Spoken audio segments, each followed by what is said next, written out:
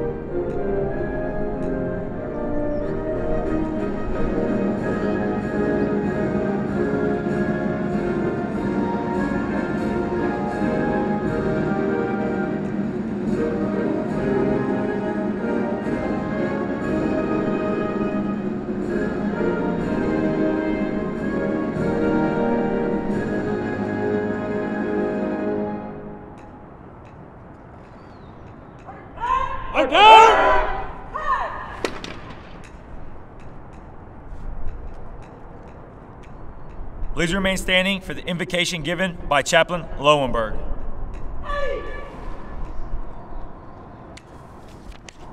Let us pray. Almighty God, we call on you this morning with great thanks and full hearts. We thank you for guiding each of us to this moment, for helping these members of the Mustang family fulfill their dream of serving their nation in uniform. Lord, when we put the uniform on each morning, it is a sign of commitment to something greater than each of us, an acknowledgement of the awesome power and responsibility that has been placed into our hands. And we ask you to continue to watch over us and protect us. For it is your sheltering presence that gives us the strength to march on, to fly, fight, and win. We thank you, God, for blessing this squadron and this wing with incredible leadership, for blessing us with the many MTIs who pour out all that they have, so that the new airmen standing before us this morning have a stronger foundation upon which to build their careers. It took each and every person sitting in the stands here and watching via the live stream to get to this moment, and we are grateful for their hard work, their dedication, and their love. Continue to bless them, God, and guard and protect each of them in their journeys. Lord, as we mark this moment of transition, we must also reflect on where we have been. The time in training has been challenging, physically, mentally, spiritually, and we pray now that the lessons learned stay with us and cause us to grow as individuals, as airmen, and as wingmen. God, continue to watch over all those stationed around the world today, some in harm's way, and bring them home safely and speedily to the waiting arms of their loved ones. Dear God, bless this land we all call home, that we may all truly know its goodness and kindness, that the best of us is what shines through despite the darkness. God, we thank you for mornings like this, the ones that remind us of how much good we have to offer and how many people you have called to do incredible work. Cause us to remember that even in our darkest hour, you, we have your light within us, that we were each made in your holy image. And let the words of our pledge shine through as the shining beacon on the hill, that we will work to ensure this nation is blessed with liberty and justice for all. Scripture teaches us that it is justice that we shall pursue and righteousness that should be our guiding principle. Help us in all these pursuits and continue to bless our lives and the lives of our families. In your holy name we pray. Amen.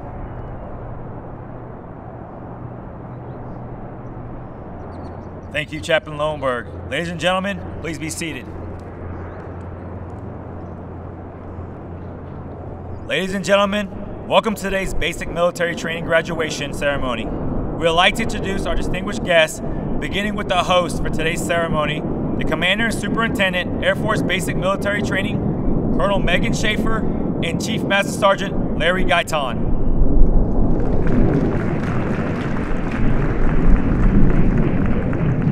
Our guest speakers, the Commander and Command Chief, 67th Cyber Wing, Colonel Jeffrey Phillips, and Chief Master Sergeant Robert Hopkins.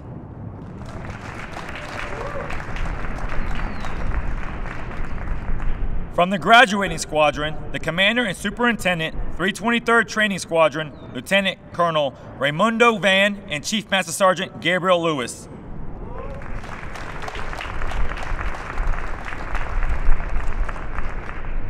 Also in attendance with us today, Command Chief 37th Training Wing, Chief Master Sergeant Michael Morgan.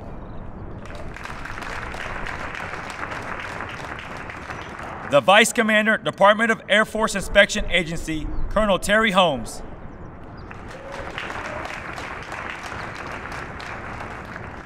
Although time does not permit us to introduce all of our distinguished guests, the 737 Training Group is proud to welcome each of you. We hope you enjoy today's ceremony. Today's ceremony celebrates the remarkable accomplishments of the graduating class. Our nation's future rests upon the dedication of this new class of warriors who we honor today. Chief Master Sergeant Hopkins will now say a few words.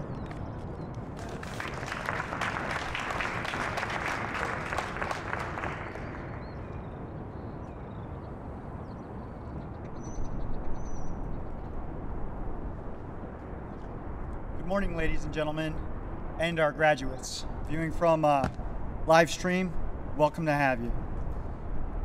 Airmen, you are joining a team of professionals dedicated to integrity, service, and excellence. While the Airman's coin will not be physically presented today at this ceremony, it carries with it the history of our airmen. The men and women, women that have come before you have airlifted troops and supplies into the jungles of Vietnam, executed precision airstrikes in Afghanistan and Iraq. And they have delivered humanitarian aid to villages in South America and Africa. They have launched they have launched missiles and flown satellites, defended airstrips and strengthened partnerships. They have stood on the North Pole, the South Pole, and everywhere in between.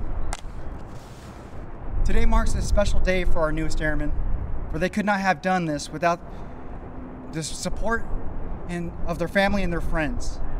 They've completed the instruction from their military training instructors, and they have committed with unwavering resolve to join the greatest Air Force the world has seen to date.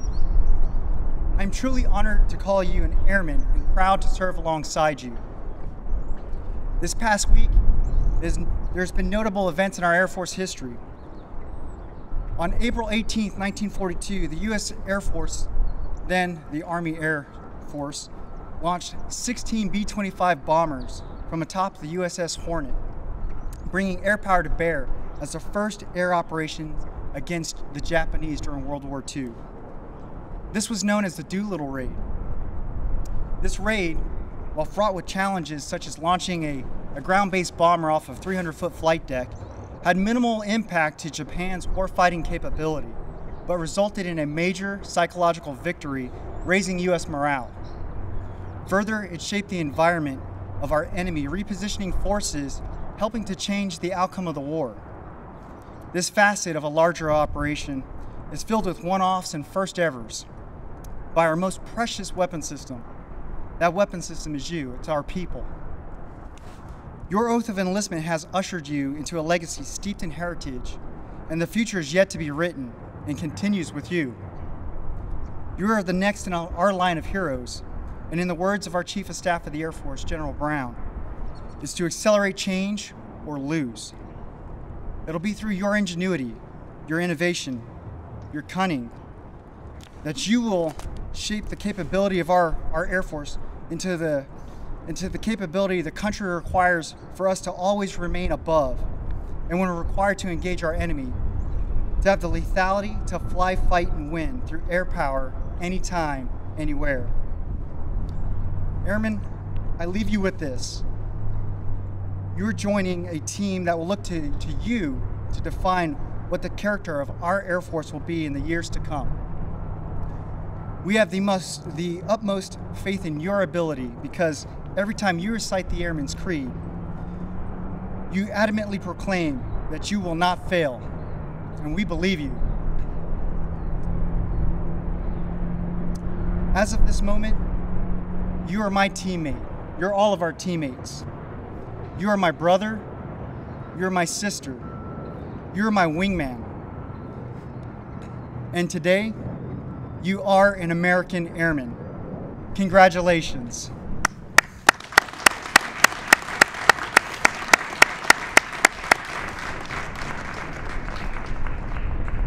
Military training instructors, you may proceed. Hey, hey, hey,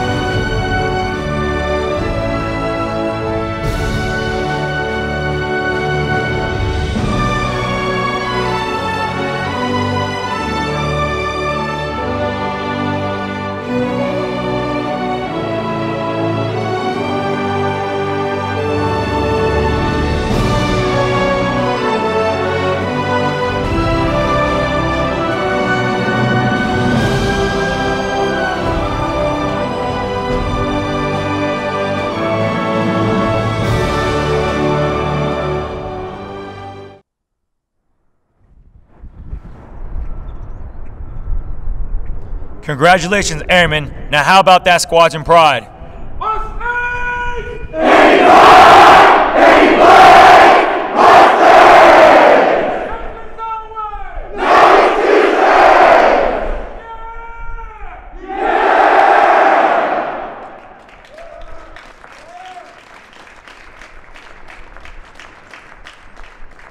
Ladies and gentlemen, please stand as our newest airmen recite the Airman's Creed.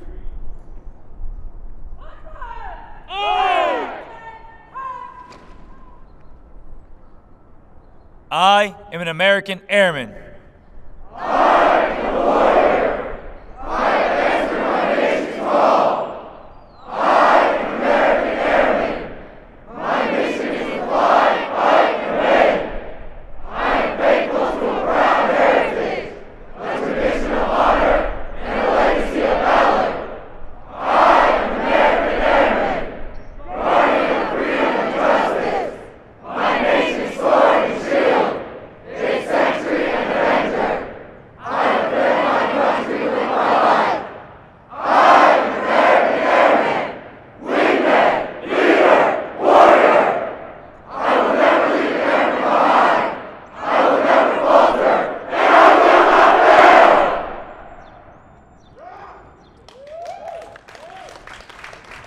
Thank you.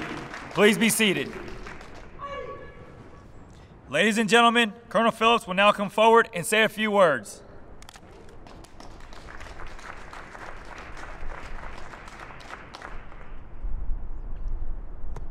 Morning. Let me begin by saying to the families, I can only imagine how disappointed you are that you can't be physically here to support your loved ones. Seven and a half weeks ago, you entrusted us with your with our nation's treasure, your sons and daughters. Your support has pushed these airmen to successfully complete basic military training and join the world's greatest air and space forces. I want to take this opportunity to say thank you for your support and encouragement, but more importantly, thank you for your trust. It is my great honor to hold a ceremony introducing 756 airmen from the 323rd Training Squadron as our nation's newest airmen.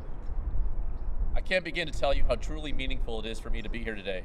28 years ago tomorrow, I left my small hometown for basic training here at Lackland Air Force Base. I never had a second thought about that decision. I've made lifelong friends and had experiences I could never have imagined. The Air Force has become my family, and now I get to welcome you to that family. Airmen of the 323rd Training Squadron, our Air and Space Force is powered by people, by people like you. Every single one of you joined the world's greatest Air and Space Force, and every single one of you will go into jobs that contribute to our mission fly, fight, and win air power anytime, anywhere. Whether you're training America's newest airmen on the flight line fixing airplanes, at the gates defending our bases, in the mission support or medical groups caring for our airmen and guardians, an intelligence professional or a cyber operator defending our networks and taking the fight to the adversary. Every single one of you contributes to that mission, and every single one of you makes us the greatest in the world. As you start your Air Force journey, I challenge you to think about three things mission, leadership, and culture. We'll start with mission, which we touched on a little bit. As I mentioned, every one of you plays an important role. Go out and learn your jobs and strive to be the best. We need you to be experts at what you have signed up to do. We'll give you the training and tools you need and only ask that you remain committed to being a member of a high performing team that does something really important. Next, leadership. Leadership is a skill that is honed continually throughout an airman's career. We need leaders at every level. It does not matter what rank you are, you will have the opportunity to lead. We need you to start adding to your leadership toolkits now so that you can lead more people and bigger missions down the road. Your goal should always be to develop leaders that are able to take your place when you move up or onto different jobs. And finally, culture. The foundation of every win- winning team is a strong culture. A strong culture helps, helps airmen feel connected to the mission and to each other. A strong culture enables teams to succeed in difficult times. I challenge you to build cultures based on dignity, respect, camaraderie, and hard work to build environments where everyone can succeed personally and professionally. You're about to take an oath, and it is an oath like no other in the world. It's my favorite part of the ceremony. The oath of the military of military service originated with the Roman Empire, when soldiers would swear oaths to generals or presidents. They were usually for the durations of battles or conflicts. However, you're gonna, you are going to take an oath to an ideal that is greater than any single individual. You are going to take an oath to the Constitution of the United States. I cannot be more excited to have you join our team. Be proud of what you have accomplished. Be excited about what the future holds in store. I would also like to take this opportunity to recognize basic military training's most outstanding performer, someone who demonstrated their ability to successfully navigate all assessments, testing their physical abilities, academic aptitude, and adaptability to the military environment. Through multiple progress checks, this airman has surpassed all others in challenges of training and earned the distinction of being the top graduate of this class. The top graduate is from Flight 381, Airman Reed Clevenger. The recruiter of Airman Clevenger is Tech Sergeant Matthew Steffens from the 350th Recruiting Squadron, 445th Airlift Wing, Wright Patterson Air Force Base, Ohio. Congratulations.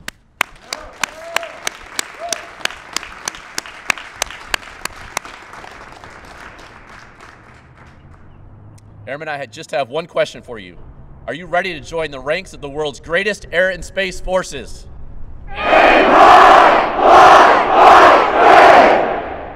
I think they're ready.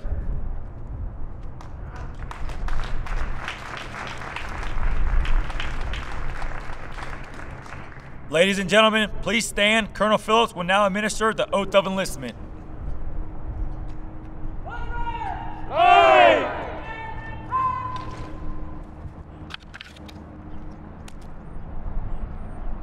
Now, please raise your right hand and repeat after me. I state your full name. Do solemnly swear or affirm. Do solemnly swear. That I will support and defend the Constitution of the United States. That I will support and defend the Constitution of the United States. Against all enemies, foreign and domestic. Against all enemies, foreign and domestic. That I will bear true faith and allegiance to the same. That I will bear true faith and allegiance to the same. That I will obey the orders of the President of the United States. That I will obey the orders of the President of the United States. And the orders of the officers appointed over me. According to regulations and the Uniform Code of Military Justice. So help me God. So help me God.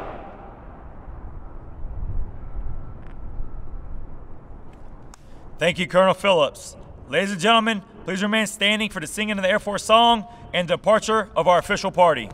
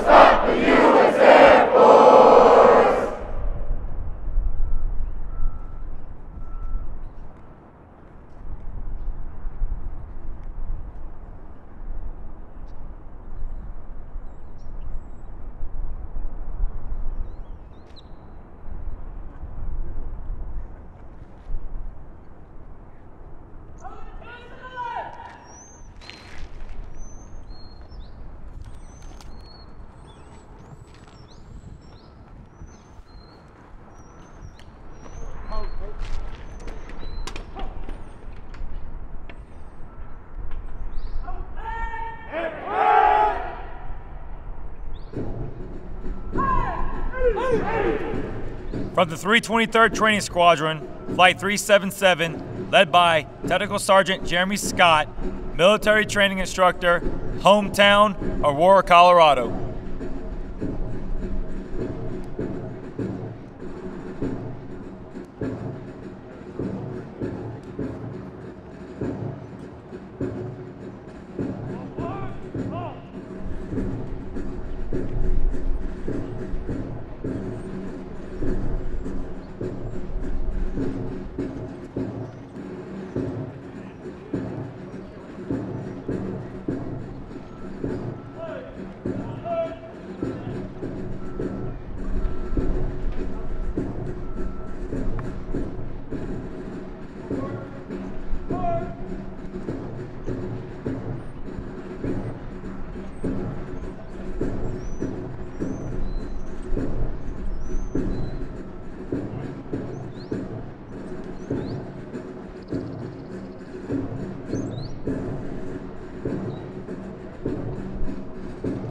Flight 378, led by Staff Sergeant Austin Hively, military training instructor, hometown, Fort Wayne, Indiana.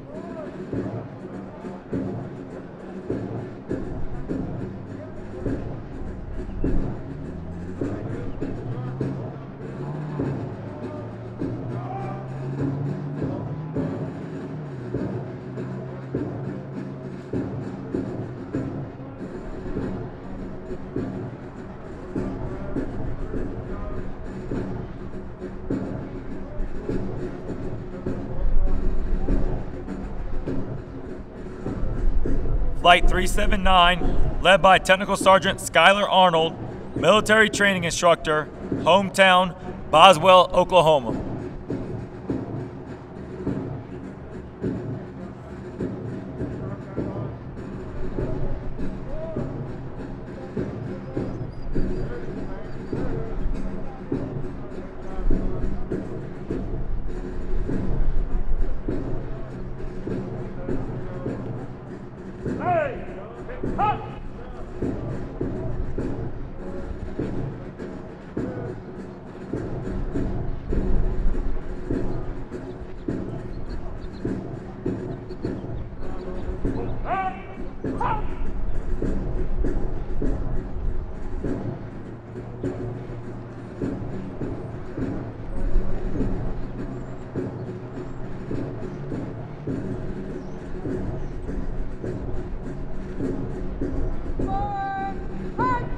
Flight 380, led by Technical Sergeant Jonah Myers, military training instructor, hometown, Everett, Washington.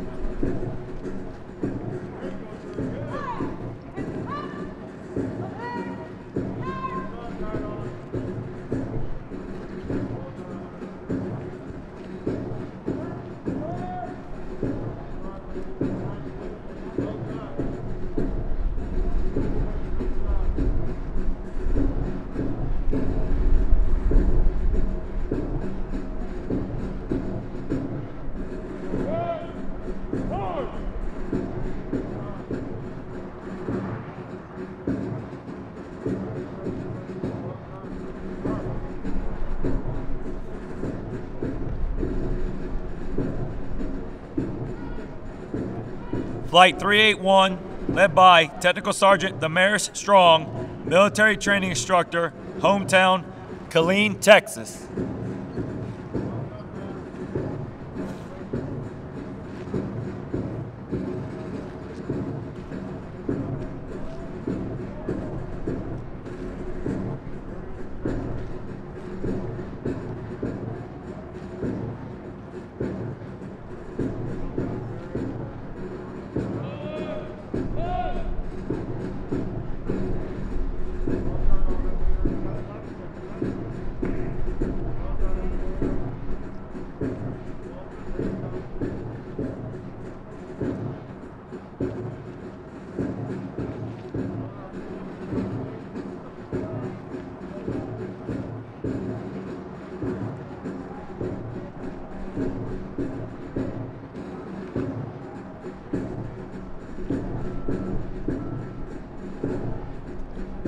Academic Excellence, Flight 382, led by Staff Sergeant Nikita Wilson, military training instructor, hometown, Water Valley, Mississippi.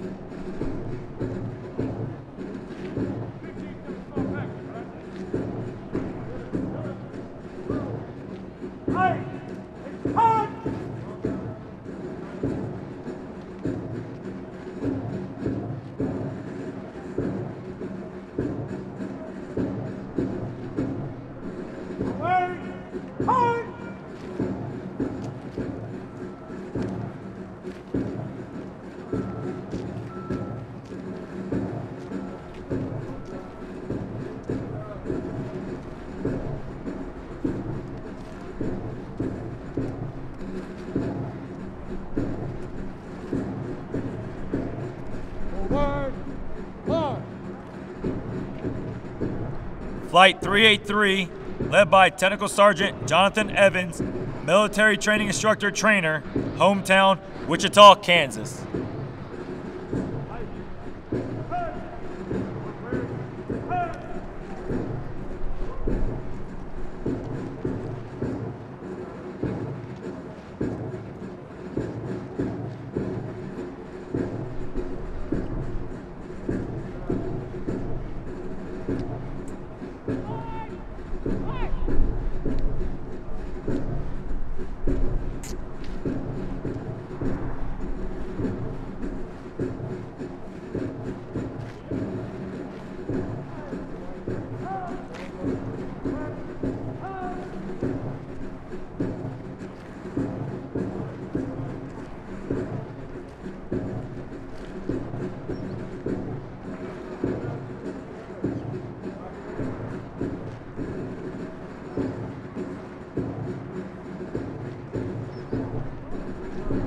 Flight 384, led by Technical Sergeant Andrew Rothstein, military training instructor trainer, hometown Springfield, Maine.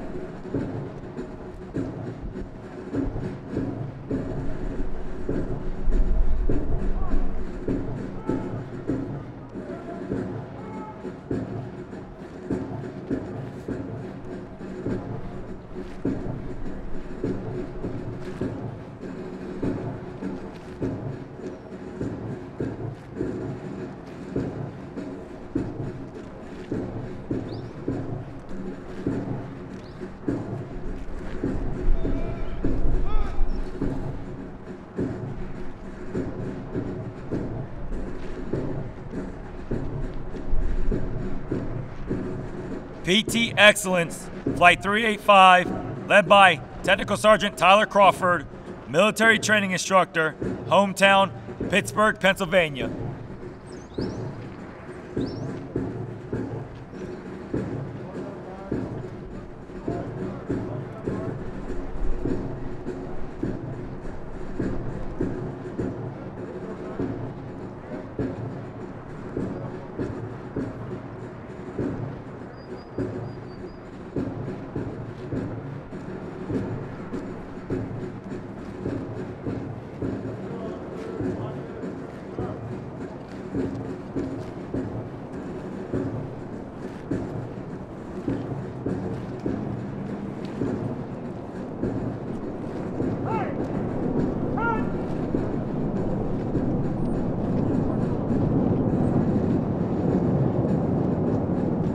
Flight 510, led by Staff Sergeant Lonnie Miles, military training instructor, hometown Little Rock, Arkansas.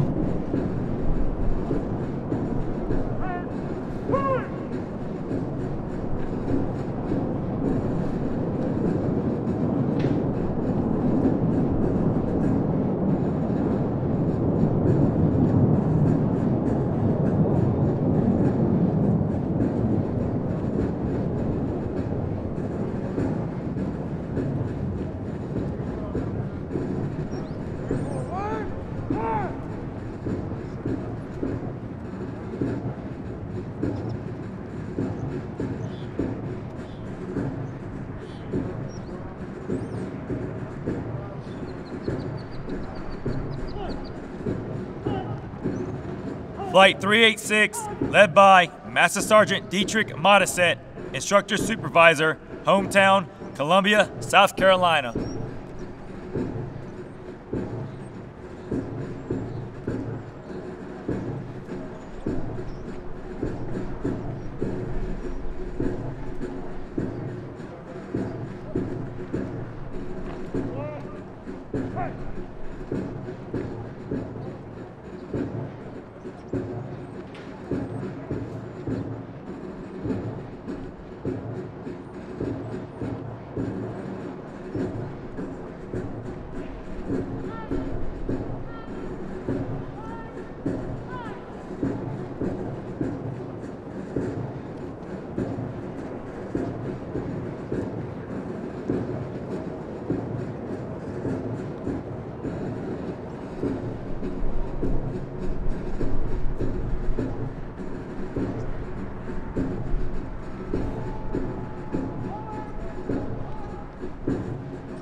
Flight 387, led by Technical Sergeant Matthew Werner, military training instructor, hometown, St. Paul, Minnesota.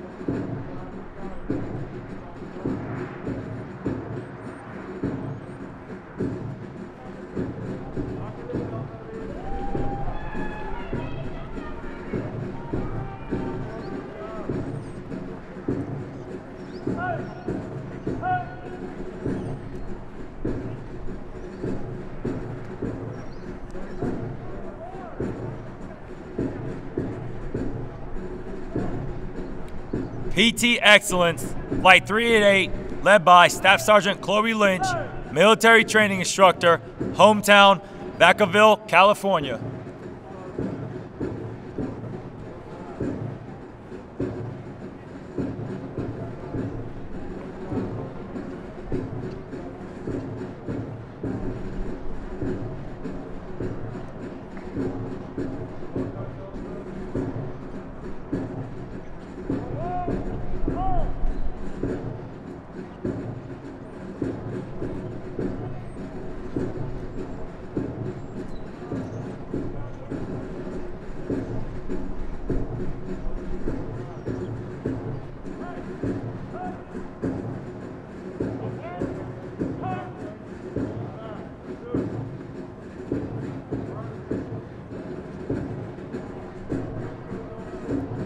Flight 389, led by Staff Sergeant Cody Cabe, military training instructor, hometown, Cibolo, Texas.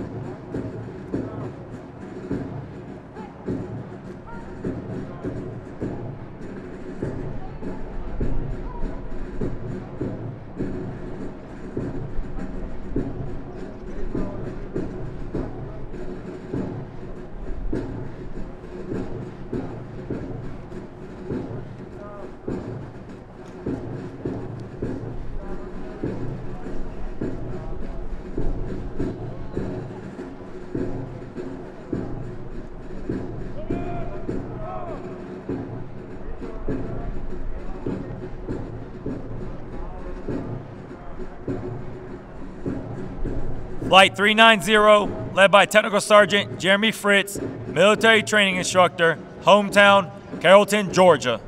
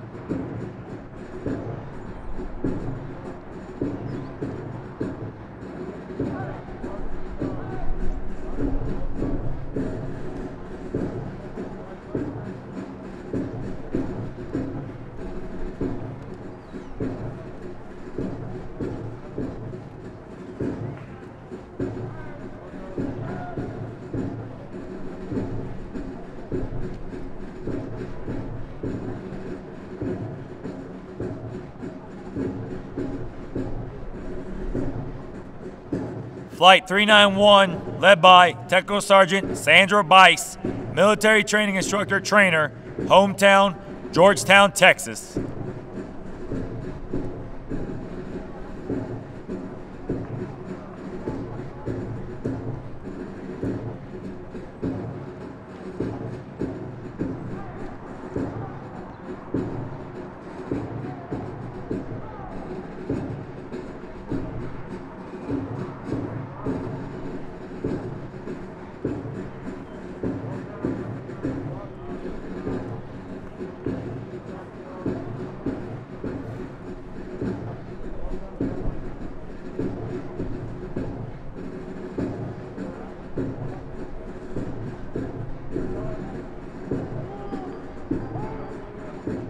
Flight 392, led by Technical Sergeant Theodore Lovedahl, Military Training Instructor Trainer, hometown Newport News, Virginia.